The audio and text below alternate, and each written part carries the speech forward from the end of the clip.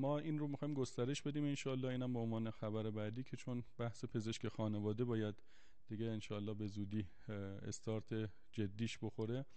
خیلی بحث فناوری اطلاعات آیتی موثره. فقط بحث الکترونیک نسخه نویسی نیست. انشالله پرونده الکترونیک تبادل اطلاعات از سطح یک به سطح دو سطح سه. اینها کار خیلی فشرده ایه که توی وزارت خونه داره انجام میشه و انشالله یک ارتقایی در این زمینه به زودی اتفاق خواهد افتاد.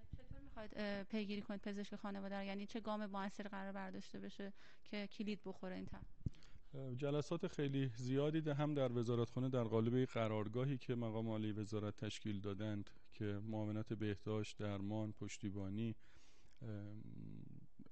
فناوری اطلاعات بقیه همه دخیل هستند. هماهنگی با مجلس تقریبا هر هفته ما با مجلس جلسه داریم.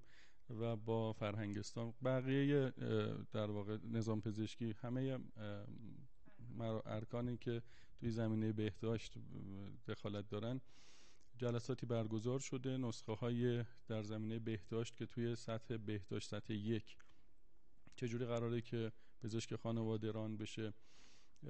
مردم باید هر پزشکی یک تعدادی سرانه مردم رو تحت نظارت خودش می‌گیره و مشکلات بهداشتی و درمانی رو در سطح یک با این پزشک حل میشه. اگر نیاز به ارجاع به مراکز تخصصی باشه از طریق همون پزشک ارجاع میشه. منطقه بندی شده همه قسمت های کشور مشخص شده. بحث منابعشه که انشالله اگر منابعش هم مطمئن بشیم ازش که تأمین خواهد شد این به زودی انشالله راه خواهد افتاد.